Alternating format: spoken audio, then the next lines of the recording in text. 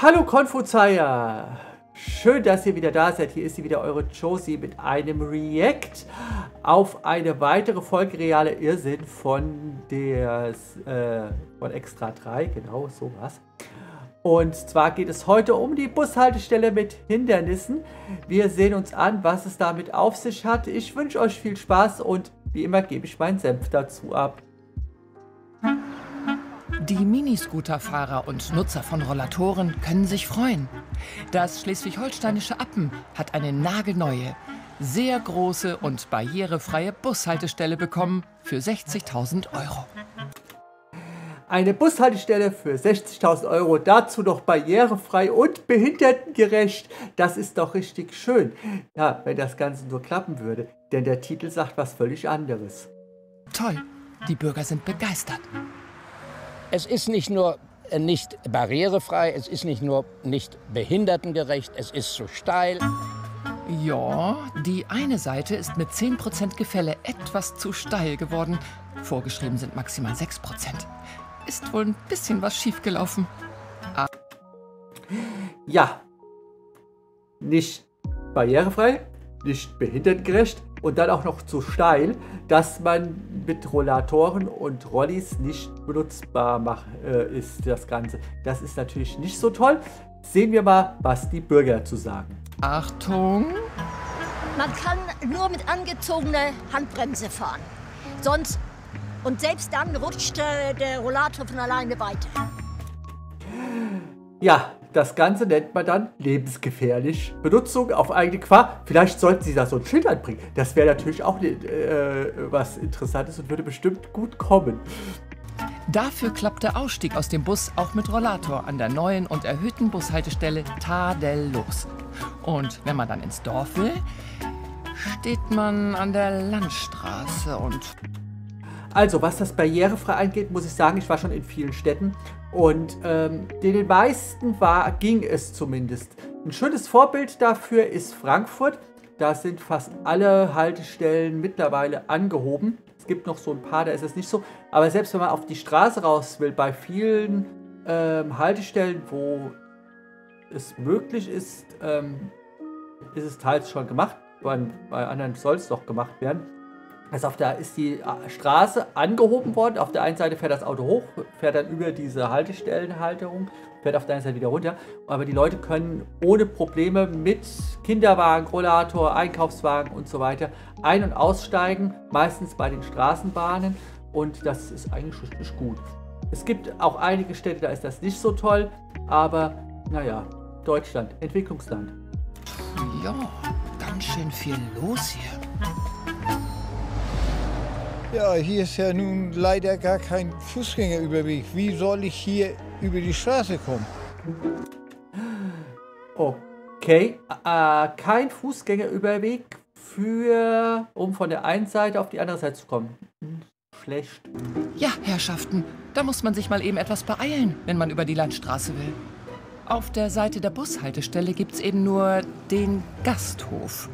Und das Dorf ist auf der anderen Seite. Wenn man hier hinkommt, ist man auf einer Insel. Man kann nicht weg und nicht zurück. Man kann nicht die Freunde in Aids besuchen, weil 95 Prozent aller Menschen auf der anderen Straßenseite wohnen. Was ja, äh, das ist, denke ich mal, da ist die Dorfplanung dran schuld, die, der Städtebau. Ja, wie kann man es auch machen, eine Bushaltestelle auf der einen Seite zu bauen und es dann zu wagen, das Dorf auf der anderen Seite zu bauen?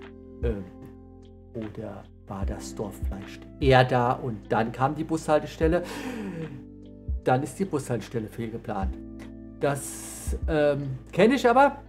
Ich hatte früher eine Rollenspielgruppe für Pen and Paper Rollenspiel und da war einer dabei, der für eine Firma arbeitete, die im Rhein-Main-Gebiet für die Planung von Haltestellen verantwortlich ist.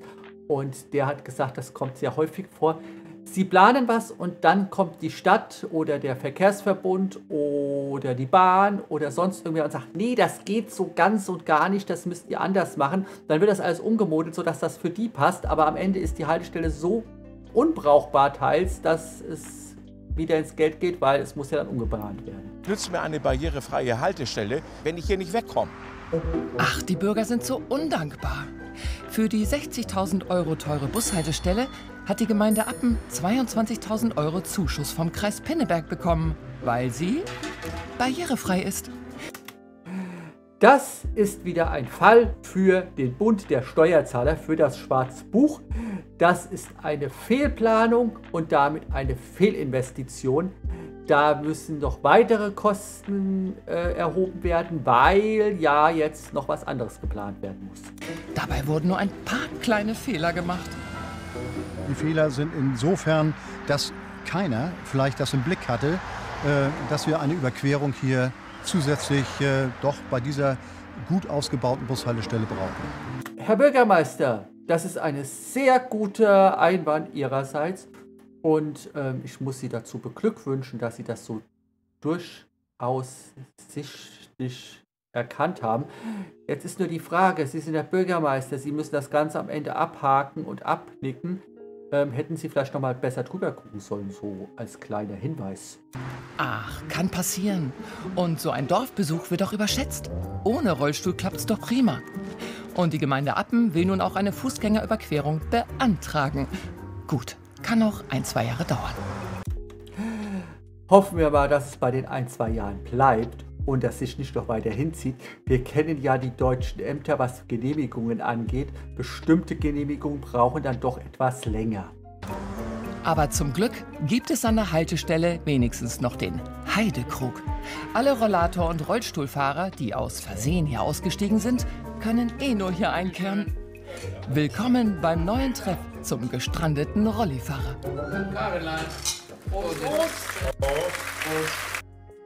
Ja, da hat der Wirt des Heidekrugs aber einen guten Gewinn gemacht, denn er ist derjenige, der jetzt den ganzen Gestrandeten bei sich aufnehmen kann und damit natürlich doch schön Kasse machen kann. Hoffentlich hat er die Preise deswegen nicht zu sehr angehoben, sondern in einem betretbaren Maß gelassen. Aber das ist mal wieder typisch deutsche Bürokratie. Erst handeln, dann denken, anstatt umgekehrt, käme vielleicht besser, billiger. So, aber ich hoffe, ihr hattet genauso viel Spaß bei der Sendung wie ich. Wie gesagt, das war der reale Sinn, barrierefreie Haltestelle mit Hindernissen. Wenn euch das Ganze gefallen hat, gebt mir einen Daumen hoch, aber nicht nur mir, sondern auch den Kollegen von Extra 3. Der Link zum Originalvideo ist unten in der Videobeschreibung verlinkt. Geht da auch hin, lasst ihn auch einen äh, Daumen hoch da, die freuen sich darüber auch. Wenn ihr Anregungen und Ideen habt und damit in die Kommentare, da gehe ich auch dann drauf ein. Ähm, was machen wir weiter noch? Ja, wenn ihr nichts mehr verpassen wollt, dann schenkt mir doch bitte ein Abo. Dann kriegt ihr auch, wenn ihr die Glocke aktiviert, eine kleine Mitteilung, wenn ein neues Video oben ist. Und ihr verpasst dann dabei nichts mehr. Mir bleibt nur zu sagen, viel Spaß bei meinen weiteren Videos. Ich sage euch für heute Tschüss eure Josie.